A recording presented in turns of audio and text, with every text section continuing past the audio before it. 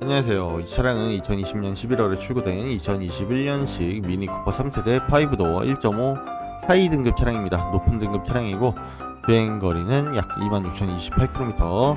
전산에 나와 있는 금액은 3,250만 원에 나와 있는 차량입니다. 어차피 제조사 보증기간 남아 있고 문제 생길 일이 전혀 없기 때문에 최대한 할인해서 판매 한번 해보도록 하겠습니다. 성능 상태 점검 기록부 먼저 확인시켜 드릴게요.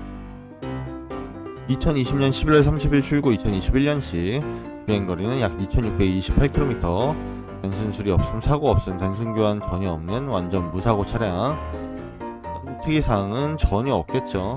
사진도 한번 보여드릴게요.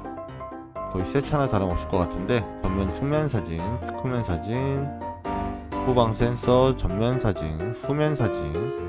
그 휠에는 거의 기스 하나 없어 보이고요. 타이어 상태도 굉장히 양호해 보입니다 엔진룸 앞좌석 계기판상 주행거리는 2630km 전자기어봉 그리고 썬루프 바닥엔 코일 매트 장착되어 있고요. 아 너무 깨끗하네요. 진짜 깨끗하고 후방 카메라 장착이 되어 있고요. 헤드업 디스플레이 장착. 네, 열선 시트 트렁크까지 이렇게 사진을 한번 보여드렸습니다 차가 너무 깨끗하죠. 뭐 2000km밖에 안 탔기 때문에 거의 새 차나 다름없는 차량입니다.